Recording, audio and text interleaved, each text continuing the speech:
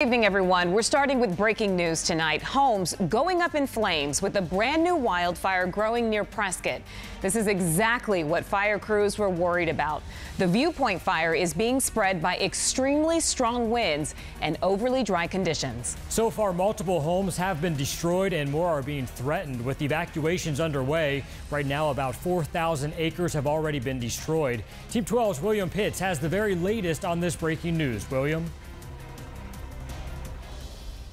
Well, guys, we're getting our first look at what it looks like out here, what this fire actually burned. And check it out. This was all grassland, all of that long grass. If you've ever been out here between Prescott Valley and Chino Valley, that's exactly what's burning. So luckily, it didn't get that intense. But take a look over here. It did take out this entire, looks like a barn or a garage at this home that we pulled up in front of, just leveled to the ground. Nothing but debris over there. You see how close it came to this house. Luckily, this house had a lot of what they call defensible space. It's space cleared between whatever dried grass, brush, trees, whatever, uh, and your house. So the fire pretty much stopped right there. But if you take a look over at this one, this fire jumped through this fence, came right up here, and this is what happened. It died out in these little fingers right there, but got very, very close to that house right over the way a little bit. And of course, firefighters are still doing water drops in this area. This was a grass fire when it started, about noon along Highway 89A. By 2 o'clock, it was 2,000 acres, now 4,000.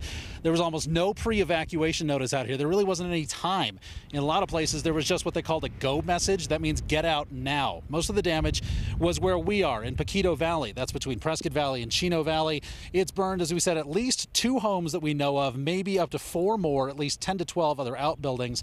And people had just a few minutes to get out. They knew the winds out here today were very bad. I, I minutes.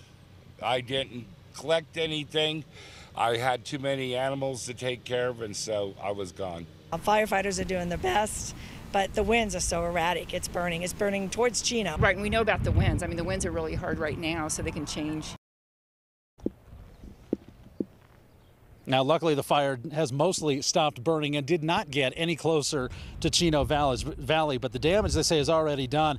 Again, they're still doing water drops on some of the hot spots around here, and for the most part, sheriff's officials and other uh, officials are checking to see exactly how much damage there was. But taking a look at this, you can see just how close to the ground it burned. All the way down, just took all of this grass out, and luckily just seemed to have burned itself out. But again, they're being very careful in case there are still some more hot spots up here with this 40 mile an hour wind that you can probably hear on my microphone right now. They don't want to take any chances that this, this thing might flare back up. Live near Chino Valley, William Pitts, 12 News. Yeah, quickly how quickly it's uh, scary how quickly it starts and spreads. Will, thank you for getting up there so quickly and, and bringing us that information. We'll have the very latest on this breaking news coming up on 12 News at 10 o'clock.